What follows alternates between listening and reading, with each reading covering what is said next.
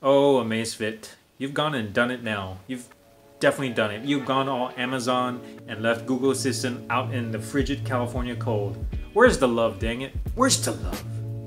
Seriously though, in what must be a masterstroke of genius, Amazfit has made its already impressive Verge watch even more impressiver. Oh. oh that's not a word. Impress impressiver. Well, in short, they basically made my inner Dick Tracy all happy inside by giving The Verge Alexa powers. It's not Google Assistant, mind you, but I'll take whatever I can get. Now, in terms of powers, I would call the Google Assistant Captain Marvel, and Alexa probably is like Black Widow. She has no reason to be there, not much powers, but people like her anyway and they put her in. Anyways, so this is just going to be a quick run through video because Amazfit just launched this about a couple of days ago and I think it's a pretty big deal and it's a game changer. I mean for a mainstream watch to incorporate Alexa and I hope Google Assistant at some point because maybe it's just down to the API and whatnot. But for Alexa to be on a smartwatch, and I think this is one of the first mainstream watches to do it, uh, watchmakers, Huami I think is the second largest in the world and I've seen other ones that other Chinese maker have made, but this is the first big one that actually incorporated something so good in it.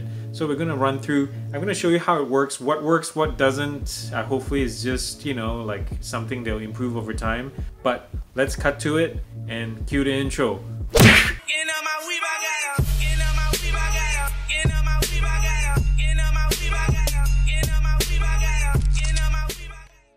So in order to start using Alexa on your watch, you have to update the firmware. I think it's 3.2.2.0 and then the Amazfit Watch app as well. Once you update that one, you should see in the third-party application or accounts.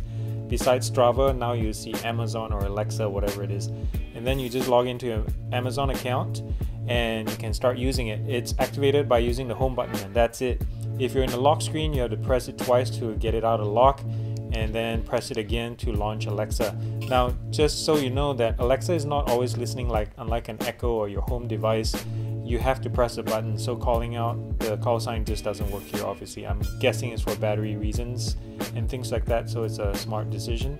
So, uh, using it for general things like general queries and weather is amazing on this thing. It actually shows the results on screen that you can scroll and look at and all that kind of stuff. Let me show you real quick. Tell me the weather. Right now in Hayward, it's 60 degrees Fahrenheit with clear skies and sun. Today's forecast has mostly sunny weather, with a high of 79 degrees and a low of 53 degrees. And I turn on a follow-up listening, so it's always listening after one result. So that's pretty cool. Now if I do it again, tell me the history of Singapore. In this case, it would show me a Wikipedia article that I can read, short one. See that?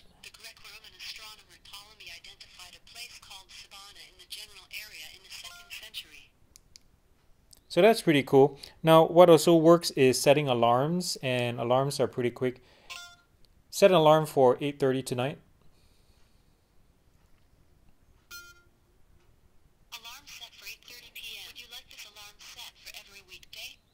No. So one thing cool about this is it actually connects to your your watch's alarm system. So once you go into your alarm app, you will see it uh, in there as well. Now, what doesn't work so far are things like music. If I ask it, please play music.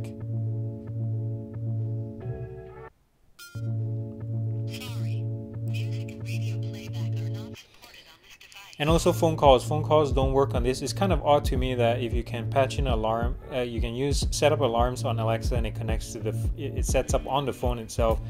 Why can't i set up phone calls on this? I guess because amazon phone call uh, works with alexa customers only i'm guessing. Correct me if i'm wrong. But i think maybe that's why maybe they could go with google because that's more open that way open environment now, one thing I noticed, and I'm not sure, I need to test this out a little bit more, is when I was outdoors, like traveling around, Alexa wouldn't work. It just wouldn't connect. I think it connects to my Wi-Fi locally, but I'm not sure it's supposed to go through the phone. But it stopped working outdoors, so I need to test it out a little bit more to see if that's really the case, or if there's a connectivity issue with Amazfit app and my watch or something like that, or something dropped out. So I need to figure that one out because I was having problems connecting. But otherwise, this thing is pretty amazing. Uh, oh yeah, you can also do like things like hey, uh, not hey Google, flash briefing. Here's your news. From Reuters TV. So you can listen to the news and all that kind of stuff. Now, here's one thing I also noticed. Like this is probably not related to the thing, but as a general usability thing, if you notice the quality is kind of low. I had just taken a shower and I think there's water in there and it really affects the speaker quality. At one point when I was filming this, Alexa was really really quiet and I have the volume at maximum. So I whacked this watch a little bit, you know, I just whacked the water out and it started getting louder. So this volume is actually not as loud as earlier when I tested it before the shower. So just take note of that. So here's another thing I want to note. Like once you download the Alexa app, you can also change the flash briefings to whatever news and all that kind of stuff and rearrange it as you need. So uh, use that if you like more customize customization. And there's that what works and what doesn't work about the Alexa so far, and I I'm really optimistic and happy about this functionality. So you know, it really feels special where you can just click the button and then you ask it, and it's always listening. So that's pretty cool. It's a pretty cool party stopper right there.